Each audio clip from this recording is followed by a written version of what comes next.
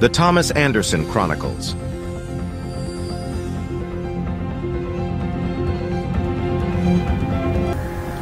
When we procrastinate, we delay our progress and let important opportunities slip away.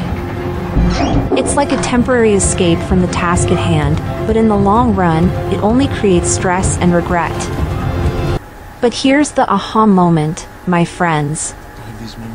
Once we recognize the sneaky Smith code at play, we can break free from its grip. We can take control of our actions and choose not to listen to those tempting whispers. It's all about finding ways to overcome procrastination. One trick is to break down big tasks into smaller, manageable steps. This way, we can tackle one piece at a time and feel a sense of accomplishment along the way. Another strategy is to create a schedule or set deadlines for ourselves.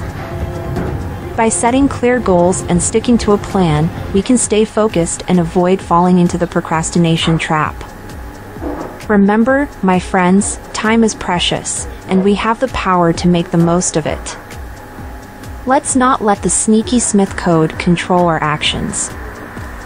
Instead, let's be proactive, take charge, and accomplish great things.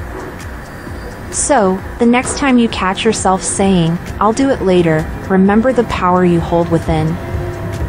Break free from the procrastination code and unleash your full potential. Together, we can achieve amazing things. Thank you for listening, and let's go out there and conquer those tasks with determination and enthusiasm.